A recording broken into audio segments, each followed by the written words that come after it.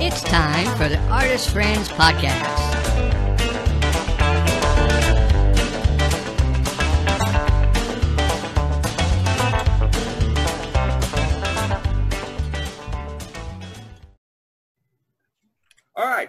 We are once again.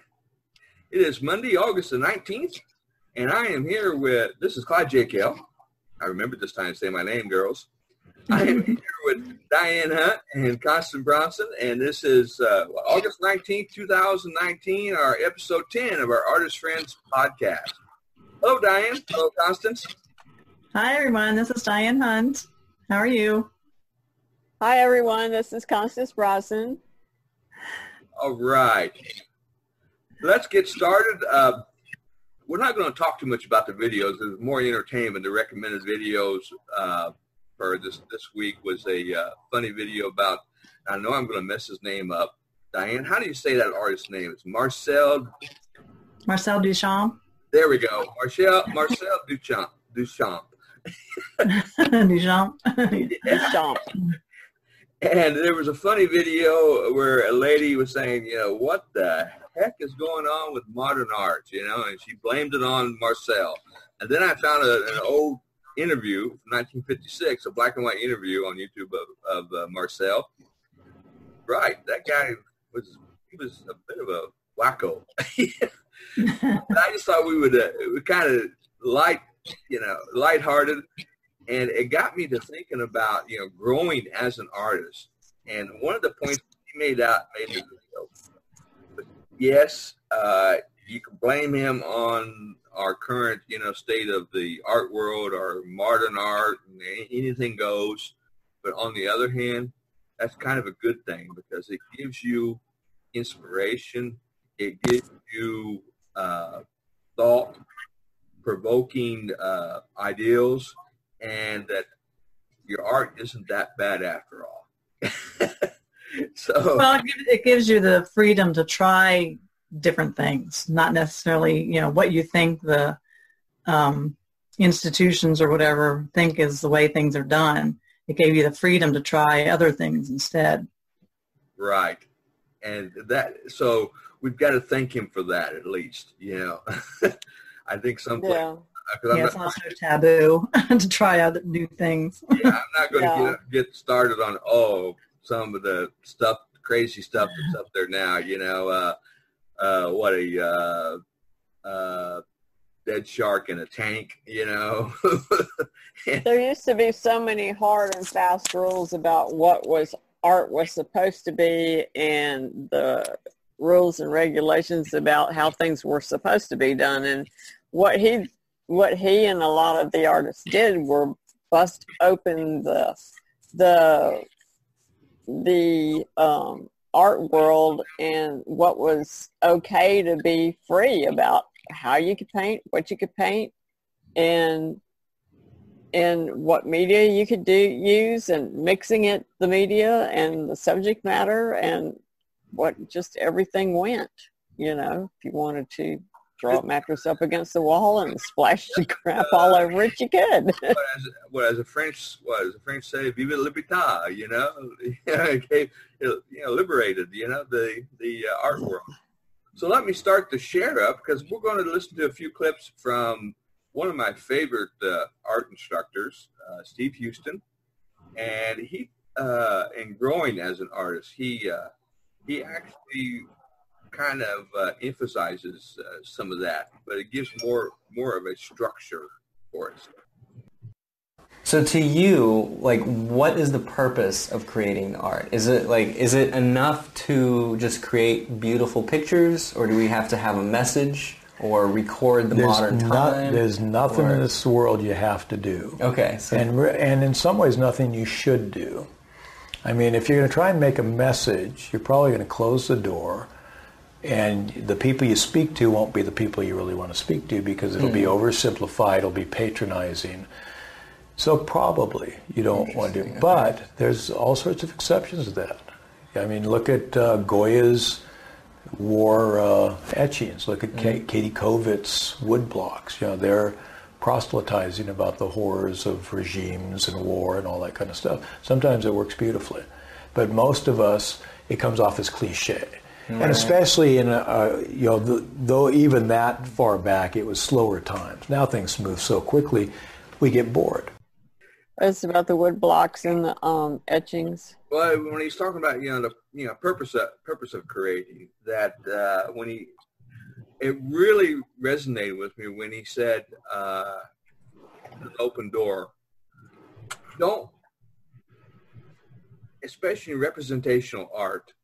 Um, you know, you you you want it to look like something that people can recognize, but not necessarily. Uh, you may want to put some kind of a meaning. Well, why did he paint that apple? Like I may paint an apple, but maybe with a bite out of the apple. Or, or like in the case like what I like to Caravaggio, he painted these beautiful still lifes before he got into his got commissioned for his religious paintings, but he added an extra twist. They weren't your normal still lives; they were fruit with uh, blemishes on them, and uh, the leaves looked like insects had had bit you know through them, and, and that that opened the door because then people would look at that and they would you know have to well, what was he trying to say? Come on, people, you got to talk. Yeah. A lot of the creativity is not necessarily um, depicting something that you see like a photograph would do. Like you're putting feelings and um, emotion into it and depicting that as well as what you're seeing. So it's or feeling like, and in, in like abstract, it's not. Um, it's more your feelings and and stuff, not the emotion, not um, something that you physically see. Yeah, when I paint an apple, it's not really about the apple. It's about the color. It's about, it's not about the apple. he talks further. He says that when he says, you know, keep the door open, you know, type thing. If somebody comes up to you and they say something about your piece of artwork that is completely different than what your intentions was, he said, don't shut him down. Be happy. He said, you know, reply, hey, you know, I never thought of that. Thank you. If you have that happen to you enough you know, times, you're on to something. Your creativity has reached, has crossed another threshold. You, you know, because uh, the ideal that your work of art can't in, can uh, inspire an emotion in somebody. That's as artists. That's that's what you want to do, right? Yeah. Yeah. Well, it transcends in other people. It means that they took the time to look at your painting long enough to see something else in it other than what you were seeing, which is a good thing. Right. Um, when I, a lot of times I, I used to do a lot of paintings with cl- a lot of clouds in them, and I'd still like to do paintings with a lot of clouds in them. I haven't done them lately, but that was one of the reasons I did the ones with a lot of clouds in them because I wanted people to look at the clouds in them. And a lot of times I wouldn't see things in those clouds that other people would see in the clouds. You know, had one painting that had a poodle in the clouds and I didn't even see the poodle until somebody else pointed it out. and by golly, there was a big poodle in the clouds. So I named it Poodle Clouds. I I had one of my watercolors. I did a watercolor of from a photograph of a um, olive tree because olive trees I, they are so have so much character because they they grow for hundreds of years. I mean, they have to they have to be almost 50 years old before they even produce olives. Wow. As a result, those trees they they they look just like the kinds of trees that you see in the old horror movies, or like in the like in the Wizard of Oz, the haunted forest. You know, they're all ragged and and scrolled. World. Well, I used this photograph I found on the internet of this of this olive tree that I painted, and when I got it completely done, I saw there was a face. There was a face of a child. When you turn it on its side, you can see the face of the child, and it's smiling at you. I looked at the photograph, and I didn't see it in the photograph until I moved, turned the photograph on the side. Then, okay, it was there all along. I just painted it exactly as I you know, as I saw it. I was trying to to get the character uh, of the of the tree, you know, the the the roughness and the, the texture, you know, and as a result, my work I brought out more of that child's face than what was in the actual photograph, which is That's cool stuff.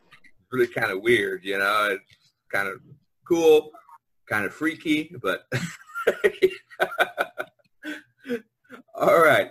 Let's go on to the next clip. When he talks a little bit about uniqueness, I think that carries this uh, this conversation a little bit further. I hope you guys can hear this. and romantic light and only four color palette. Uh-huh. And so what do you do when you look at those? You nobody goes up there and says, "What the hell does that mean?" Those, those have nothing to do with each other. They go, "Now let me figure out what that means." Right. Do you think it meant something to him, or was Of he? course it did, yeah, yeah. But it's none of our business what that is. Okay. So, and he could, he's happy to tell us. But I mean, what's more important is when you do that, all of a sudden you've opened the door, and now the audience can come into your art. But if you give them every little thing, if you come in and give them every petal on the, on that bush, what's left for them to do? Hmm. But if at least you just do the three dots, then they get the pleasure of connecting those dots. And what happens then when you when you leave things open ended like that, where you don't when you don't tell a story, but suggest a concept or put together things that shouldn't go together. Magic in boarding schools, that's stupid. That's not real. That's childish. But it's kind of Right. cool. I wish there was. Well, I think it's the execution, though. You could put it together. It's all of that, really yeah. way, Any of right? these, yeah, that's always the danger. You can always do it badly. And sometimes people do it badly, and then somebody else takes the idea and they see past the style. And they say, that was a great idea, it was just really bad. So, and you see that as a, uh, just for in Impressionism, French Impressionism. For a lot of artists and a lot of audience, they'll say, that's lousy drawing, not graceful brushstrokes. Okay. So But boy, case, it's beautiful color. So why don't I take? Why don't I steal the color palettes Uh-huh. and the, the beautiful shifts of warm and cool and rich and gray, limiting the value range into that sunlight, sunset range of values, and then I'll put that on a Sargent. That's what Sargent did with these watercolors. And I'll use the skill set of a, of, uh, of a Velasquez. I'll use the color palette of a Monet. Mm-hmm. Now I've mashed up again. I've taken the best. Comments? Well, I, I have to agree with him about not giving all the information in your painting and letting the um, viewer fill in. Because everybody will interpret things a little bit differently and it kind of um, gets them more involved in the process like and and they can finish the painting however their vision is like what they what they feel about it is they, you can't do that with paintings that like um, photorealism type things Yeah. every think- detail is there and there's nothing there's less for the viewer why- to do Yeah, I think that's why I like impressionism so much because there is um there are varying degrees of finished finishedness to an impressionistic painting that you can do and it leaves a lot to the viewer to finish. You know, um, it's very painterly, and that's what I like about impressionism. It's so painterly, and like you say, with realism, it's like a photograph that's been painted. And I know that a lot of people love that, but to me, it's just not painterly. Yeah, I, I don't want to jump on it. I, I mean, I I appreciate those people that are very talented for photorealism, but uh, I never really strive for that. one thing that um, years ago, long time ago, when I was living over over in Italy, and of course I got a chance to see a lot of the old masters' work. You know, it's everywhere. You know, it's in the museum, public buildings. You know, and you always run across. And when I would uh, stand up close and get as close as as what would be allowed if there wasn't a barrier, a rope. I mean, a lot of times I was stepping over the rope, you know, and I would see the breaststrokes, and there would be real paintery type, you know. I said, "Oh my God, he didn't even finish his, his this connection here, you know. It looked like he's, you know, got other colors coming underneath." And then I stepped back and. Oh, you know, it all comes together. The closer you get, the more it falls apart, and the further mm-hmm. away you get, the more it comes and together. That always, you know, I that unless always, it's photorealism, and then the photorealism, it just looks like a photograph, no matter how far away you get or how close you get. Exactly. And there is a following for that. You know, there really is, but like there's a following for every kind of art. I mean, there is a following for every kind of art. It's just what you, what is your niche? You know, you have to find your niche, and that's what you paint or do. Your, which, you know, you know, Steve talks about your uniqueness. You know, you right. Find, you know, find your and you have to, and that's what you develop. You, that's part of being an artist. You develop your uniqueness, and that's what makes you have your brightness. I frequently talk about Caravaggio. He's, you know, one of my favorite. I don't want to paint exactly like him, but I've studied his techniques. I've watched a lot of video, YouTube videos, and I'm able to apply some of his technique. Well, that's also one thing he was just talking about too. Is he talked about Sargent was he took part of Monet and he took who was the other artist that he took from? He took part. He took Monet's palette and and somebody else's. The impressionist color. Yeah, the impressionist colors. Yeah, like. And he took another guy's. Who was the other artist that he took? Yeah, Velázquez. I think it's. I say. Yeah, and he took his. Yeah. He had these two artists that he liked, and he married the his style together and made his own style. You know, and and you know, so it's really easy to get distracted. We live right. in fairly pampered times. Not everybody certainly, but uh, even our poor people aren't as poor as they used to be. Mm. You know, some places they are.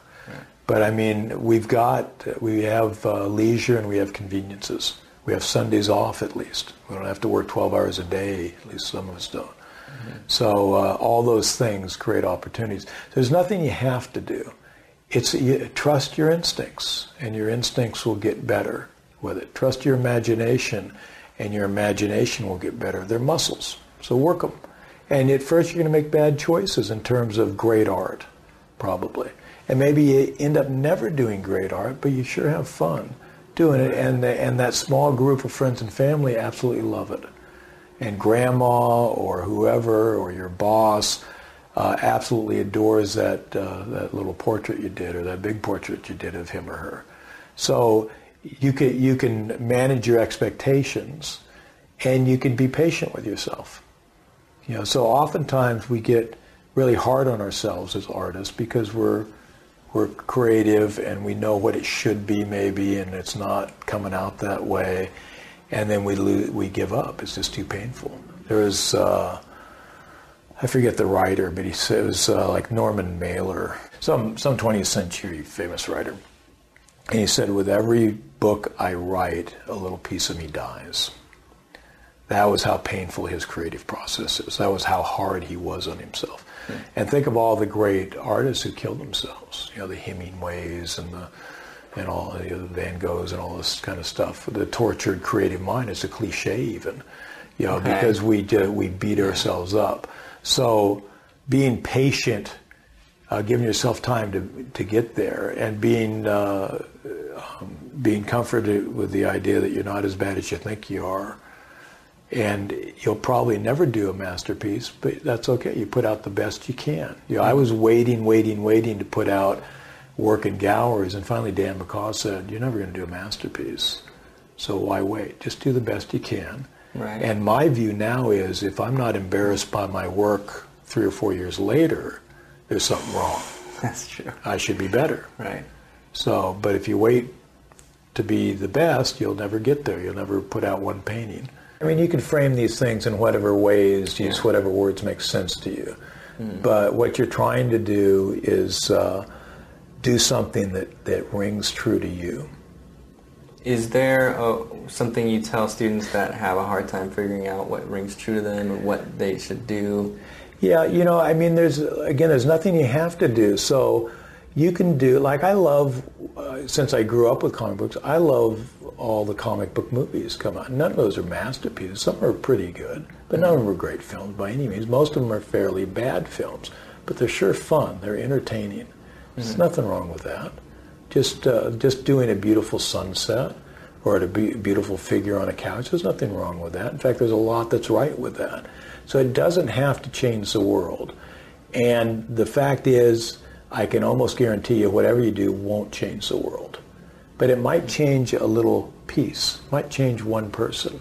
And that person might go out of the gallery or, or from the folio feeling a little different. Or just being grateful that they had a break from their troubles. So it's a, you manage your expectations and you decide what your definition of an artist is. What you what do you really want to be, and what your when it rings true, what is that truth? Well, the thing is that when you're, especially when you're starting out painting or in any kind of art form or anything really, you can't expect yourself to be an expert right off the bat. you know, it, it takes practice. It takes time to develop, to, you know, hone the skills that you need, no matter what it is. Like it could be, Yeah. you know, learning how to plumb, do plumbing or, and you know, anything like you ha- you can't you're not an expert right from the start and a lot of people think art is like easy and it looks like so much fun and um, relaxing and stuff and it's really not all that uh, it, it's hard work you know it's it's a lot harder than most people think it is and It turns your shoulders into knots if you don't watch it.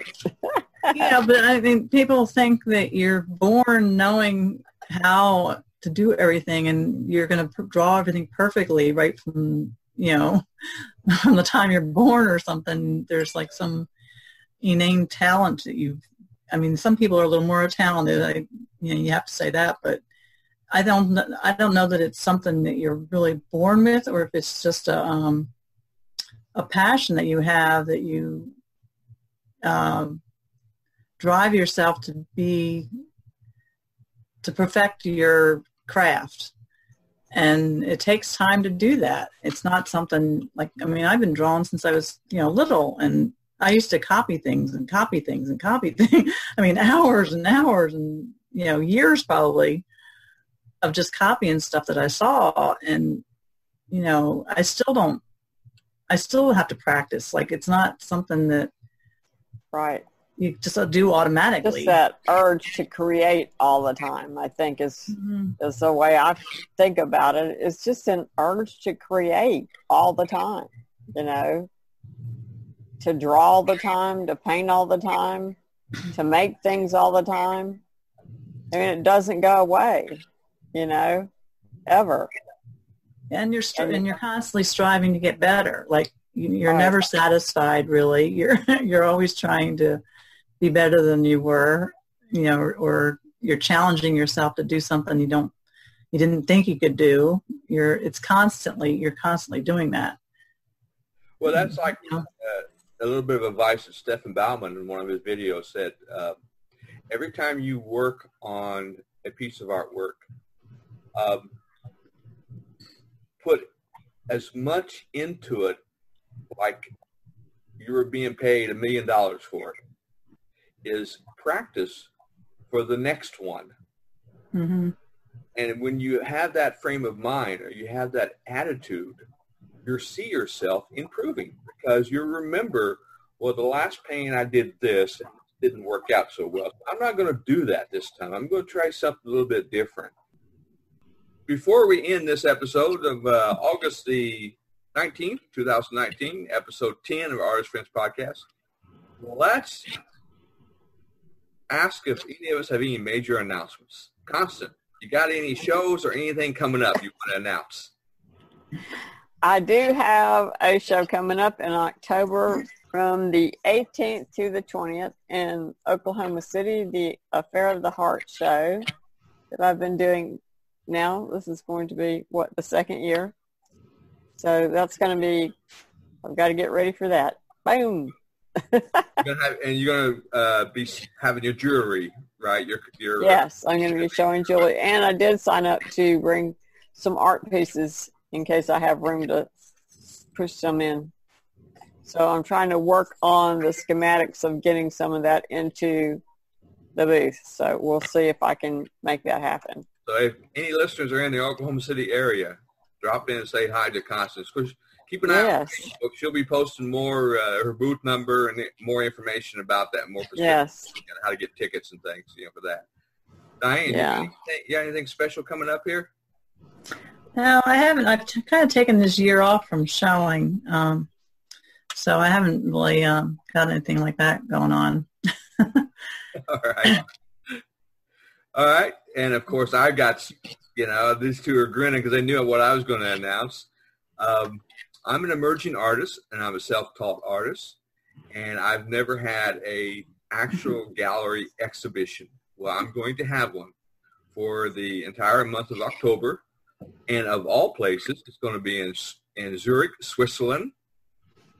And this is true to my uh, 21st century uh, mentality. Uh, one of my images has been sent to them, and the gallery, it's a physical brick and mortar gallery. They will have 55 inch uh, screens, monitors throughout the gallery, and my work will appear on one of those monitors. Other artists around the world. So any listeners are over in uh, Zurich, Switzerland, stop in the gallery. It's called it's called called the Art Box Gallery. I'm not even going to begin to say the name, the address. on Swiss, you know, whatever the language. But uh, of course, I'll be posting more information about that as it gets closer to October. All right.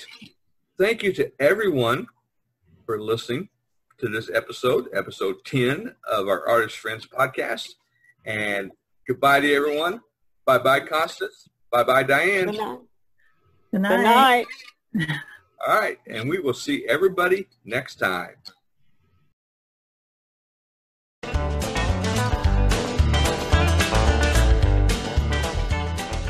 The Artist Friends podcast is produced and edited by Clyde J. Kell. Participating artists Diane Hunt and Constance Brosnan and Clyde J. Kell.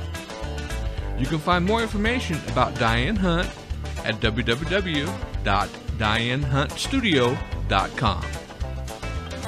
Constance Brosnan at www.etsy.com forward slash shop forward slash C-B-R-O-S-N-A-N-S.